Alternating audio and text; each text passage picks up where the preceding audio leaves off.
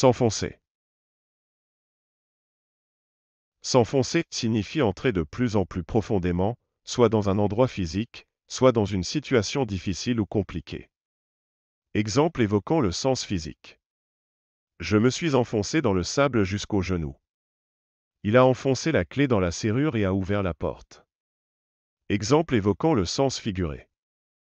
Je me suis senti s'enfoncer dans la dépression après la perte de mon emploi. Elle a choisi de s'enfoncer dans le silence plutôt que de répondre aux questions difficiles. Il s'enfonce dans ses mensonges de plus en plus profondément.